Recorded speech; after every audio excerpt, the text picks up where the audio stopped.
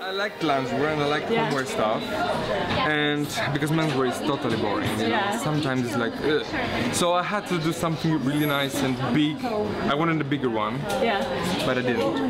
But the donkey is like my first animal was a donkey, so Yeah. I had to put it in a collection. So all all of my childhood memories are translated into, let's not fashion garments, but garments in general. Yeah, you run the uh, Fashion Design Institute in Düsseldorf in Germany. So this is something very similar to the London College of Fashion. So what was your impression of the MA14 show? or because we must look for uh, that uh, this uh, students when he uh, finish by us in the school that he want to do anything for master and then we look for here and many many talents here on the show. Yeah, do you have like a favorite um, look from the show? Yes, I, I like the show with uh, leather, with uh, not, The laser cut? yes with the laser cut. It's uh, very very nice. Yes.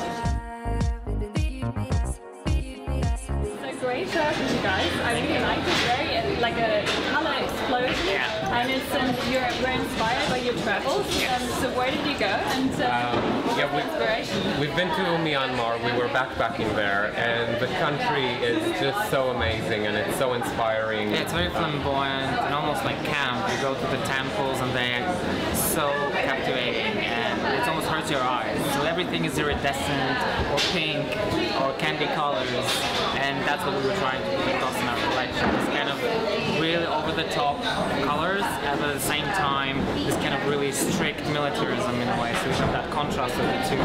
That's kind of signature. Yeah, and obviously bringing it all together and modernizing it and, and kind of making it fun and exciting, um, you know, for a young girl to put it on and, and kind of really express herself and, and have fun with what she's wearing. About you know taking inspiration from Yeah. like traditional you know jewels and making it really contemporary and making it really cutting edge and pushing the boundaries and giving something new and fresh. Yeah. Yeah.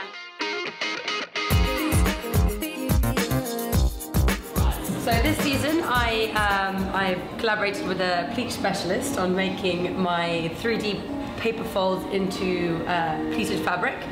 So I created a mold, and then I made a two a, a, negative and a positive to create a pleat. Um, so and then I did a fading technique, which I'll show you in a minute, um, from 2D to 3D. So it's really charged pleats at the bottom.